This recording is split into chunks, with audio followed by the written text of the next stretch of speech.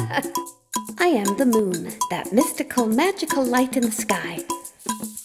I change as it suits me and play with those who would try to catch me. I seem so near as to be plucked like a plum.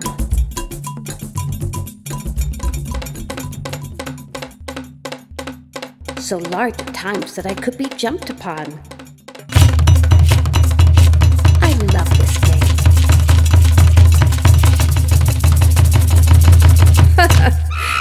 determination, my young friend.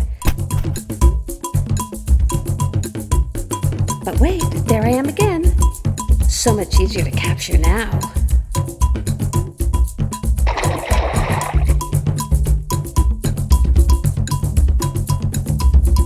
Oh well.